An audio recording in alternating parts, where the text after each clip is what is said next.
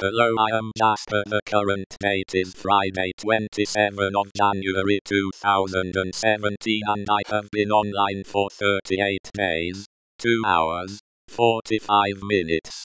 I am currently using 1.53% of total processing power at the moment on Node 1 and currently there are days, users online, which are root, and according to speedtest.net the current network speed is 78 milliseconds ping with a download speed of 10.30 megabytes per second, and upload speed of 4.03 megabytes per second. Current status of all servers nodes are Node 1 online, Node 2 offline, Node 3 offline.